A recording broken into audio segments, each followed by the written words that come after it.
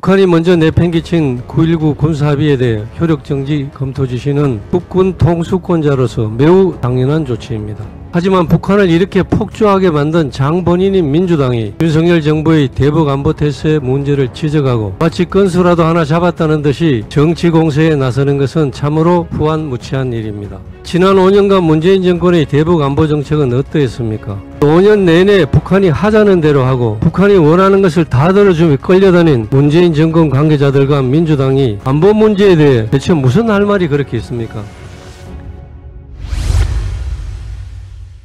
9.19 군사 합의를 사실상 사문화한 것은 전적으로 북한의 책임이며 9.19 군사 합의가 유지될지 여부 또한 북한의 태도에 달려 있습니다. 군사 합의의 핵심은 한반도의 평화와 번영을 위해 적대 행위를 전면 금지한다는 것이었음에도 북한은 군사 합의를 위반하는 도발을 계속해 왔습니다. 북한이 합의를 정면 파기하고 있는 것입니다.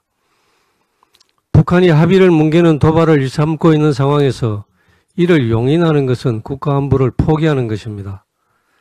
윤석열 대통령은 후보 시절부터 북한이 변하지 않으면 한국도 9.19 군사합의를 계속 지키기 어렵다며 확고한 대북 원칙을 고수해왔고 북한 무인기 영공 침범에 대해 윤석열 대통령께서 효력 정지를 검토하라고 지시하셨습니다. 북한이 먼저 내팽개친 9.19 군사합의에 대해 효력정지 검토 지시는 국군 통수권자로서 매우 당연한 조치입니다. 민주당이 벌써부터 무인기 사건에 대해서 국정조사 청문회를 운운하며 정쟁화를 시도하고 있습니다. 용산을 대통령실 주변을 비롯하여 비행금지 구역 방어에 허점이 생겼다면 이는 중대한 문제이고 잘못된 것은 즉시 고쳐야 하는 것은 당연합니다. 하지만 북한을 이렇게 폭주하게 만든 장 본인인 민주당이 윤석열 정부의 대북 안보 태세의 문제를 지적하고 마치 건수라도 하나 잡았다는 듯이 정치 공세에 나서는 것은 참으로 후한무치한 일입니다. 지난 5년간 문재인 정권의 대북 안보 정책은 어떠했습니까? 우리 군인들에게 명백한 주적인 북한을 적이라고 교육도 못하게 했고 북한이 온갖 도발과 위협을 가하는 와중에도 중국의 위협에 굴하여 사다 하나 제대로 배치 못했으며 북한의 핵미사일 도발이 계속되고 있는데도 대화로 해결해야 한다며 미온적인 대응으로 일관해 왔습니다.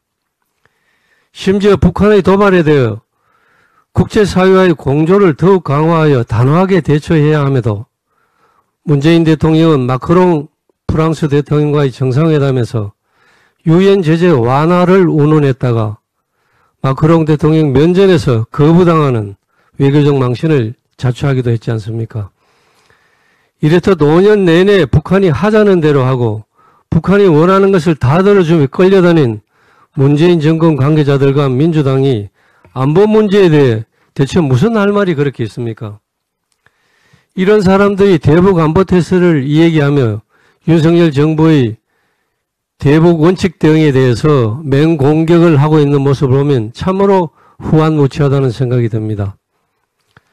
민주당이 진정한 대한민국 공당이라면 이렇게 엄중한 안보 상황에서 대통령과 정부를 향하는 비난의 열을 올릴 때가 아니라 안보 대책 마련에 힘을 모아야 할 때라는 것을 명심하기 바랍니다.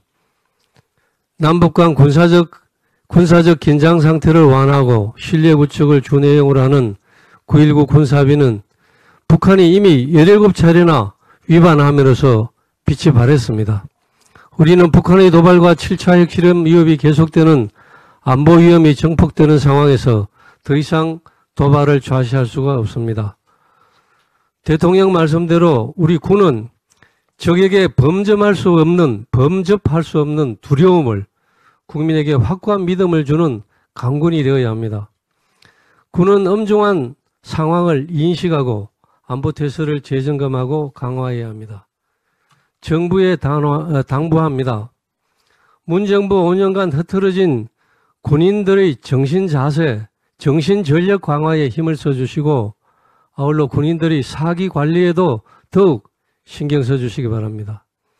가장 중요한 것은 우리 군인이 군인다워야 이 나라와 국민의 생명을 지킬 수가 있습니다.